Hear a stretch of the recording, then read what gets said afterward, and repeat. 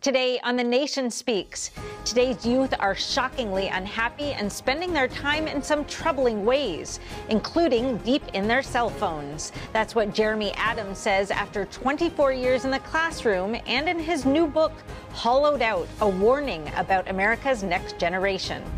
Then in America Q&A we ask if you think you spend too much time on your cell phone. And if you do, do you know if you're hooked? Hilarie Cash runs an internet addiction program. She tells us the signs, impacts, and some strategies to kick the habit. Finally, in our second America Q&A, we ask, do you trust self-driving cars? Hello and welcome to The Nation Speaks. I'm your host, Cindy Drukier.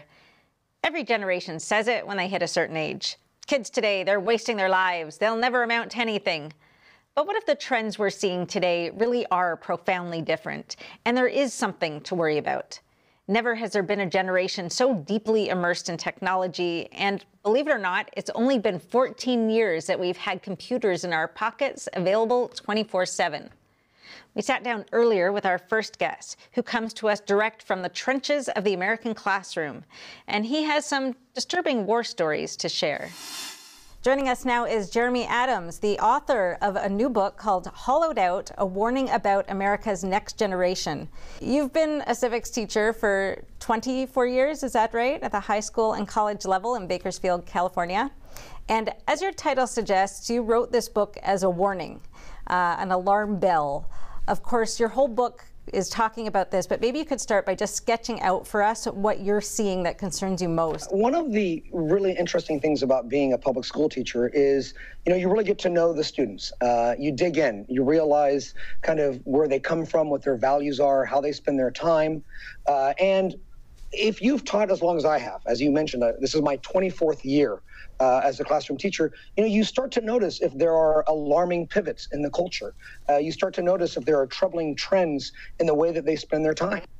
Uh, and, you know, I'm not special. Uh, you know, you, I, I've noticed that a lot of the most disturbing things about our young people are not just in my room, they're in the classroom next to me, and they're in the schools in my city, and they're in schools all over the country. And so when you start talking to other teachers, you start to realize that a lot of our young people uh, are embracing uh, a kind of a value system, the way they spend their time, the way they look at their country, the way they look at their own lives, uh, in a way that is not going to lead them to live particularly meaningful and purposeful lives. Um, and I'm also a civics teacher. Uh, I worry about the American experiment.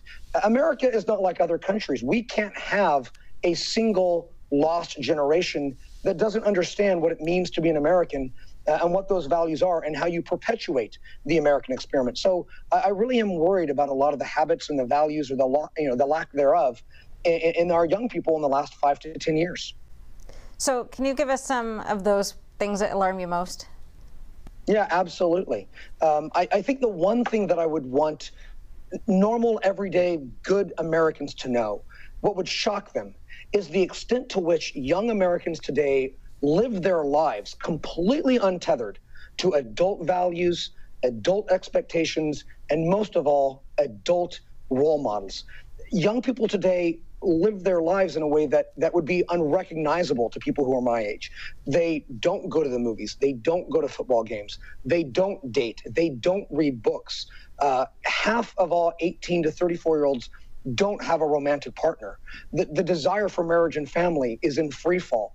Uh, it's not just that our young people are not religious. I'm a public school teacher. It's none of my business if they're religious or not. But what bothers me is that they don't know anything uh, about religion. They're the least patriotic generation in American history, uh, and and many of them uh, look at life in a way that I, I think is radically individualistic. Um, you know, when you think about all of the things that fill in a young life, uh, that make it special, that make it, uh, you know, kind of enchanting, uh, a sense of grandeur.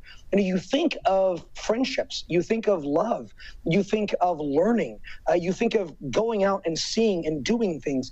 And our young people today are lonely. They're isolated. You know, the one thing that I, I really want people to understand is just how unhappy this generation is. It is shocking. Uh, one out of four 18 to 30, uh, 18 to 24 year olds have considered suicide in this country. Can you just say what the impact of the pandemic, the lockdown, the Zoom classes has had on you know what you were already seeing? Yeah, that's a great question. You know, the things that I was worried about, uh, the isolation, uh, young people who don't know how to hold a conversation, they don't make eye contact, they don't go out and socialize, uh, they're not having meals with their parents, uh, nine to 10 hours a day on their phones. These were things that I was worried about prior to March of 2020. And what has happened in the last 18 months is that these problems of isolation, of loneliness, of looking at, at, at screens and phones all day long, these problems have been amplified and accelerated. Uh, and I'm telling you right now, it's going to be really hard to get back a sense of normalcy. Um, you know, I, I wrote a, an op-ed for the LA Times about a month ago, uh, and, I, and I and I said that what we're seeing with young is the rise of what I call zombies, kids who have been on Zoom calls for 18 months and and now that they're back in a regular classroom many of them are zombies. They they don't know how to you know re-engage in the classroom. They don't know how to have a conversation. We find that a lot of the activities band choir sports drama we're having trouble getting kids back into the kind of connective tissue of an American classroom and an American campus. We're really in a really deep hole. There's no question about it. Okay, so what are some of the consequences of this, do you think, as they grow up a bit older? Well, I, I think that the, the, the biggest consequence uh, is that, you know, as a generation, we have given young people freedom, but we haven't, as adults, stepped forward and given them the values, the wisdom, the knowledge, the insight on how to use that freedom well. If we give young people the freedom to do whatever they want to do, we have to teach them that the beauty, the magnificence, the fecundity of freedom is that it allows young people to connect to important things of their own choosing, deciding I want to commit to this man or woman because I love them, committing to this community because I believe in its possibilities, committing to this faith because I believe it in the inner depths of my soul, believing in my country and realizing it's not perfect and I need to make it better. And so you ask, what are the long term consequences? The long term consequence is a generation that sees freedom as tantamount to indulgence, that sees liberty as the same thing as licentiousness, that, that, that doesn't connect to important and big things. I mean, I think of my own life, and I'll be honest being a husband is hard, being a father is hard, being a teacher is hard, being a person of faith is hard, but connecting to those things are what give my life purpose and meaning. It's what the Greeks called human flourishing.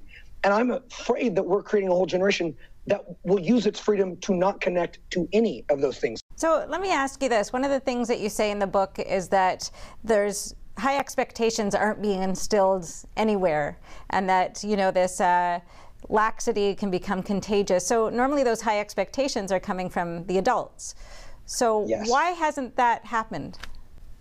I think that my generation, and I want to be very clear that, you know, my, my criticism of young people is not really a criticism of them, it's a criticism of, of you and me. It's, it's our generation.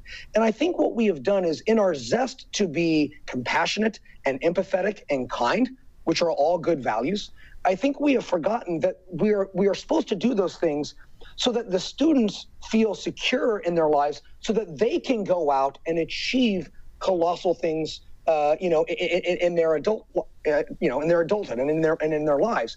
And so, for instance, in schools, uh, you know, now teachers are not just teachers. We are friends. We are counselors. We're acting in place of parents at times. And I think that sometimes what we have forgotten is, you know, we give kids three meals a day. We give them counseling services. We give them, you know, clothes and the basics if they need it, so that then they feel secure enough that we can pivot and say you still have to go into a classroom and work hard. You still have to study. You still have to take notes. You still have to show up every day because we think that we're being compassionate by, you know, letting students you know, giving them a, a, diploma without achieving anything. And, you know, it's this mentality that we have in our society today, which says, well, if we decriminalize everything, crime will go away. If we give a trophy to everybody, that means that everybody achieved excellence. And now we're seeing in our schools that you know if we just make it so that you don't have to take hard classes you don't have to you know take an exit exam you don't have to meet any of these high expectations that somehow it still means that you're educated if you walk across the stage and we're doing nobody a favor by doing that i mean i think anybody listening to this knows that any form of success in life requires so much diligence, so much knowledge, so many skills. And yet in our schools, we feel that we're compassionate by simply giving you a diploma when you don't have those skills and you don't have that deep knowledge. And we're really, really robbing young people of what they're going to need to stand tall in the world and achieve the most they can with their lives.